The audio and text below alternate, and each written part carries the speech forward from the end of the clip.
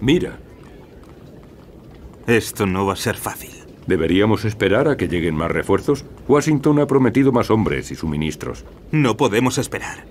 Tendremos que robar los suministros de Warwick.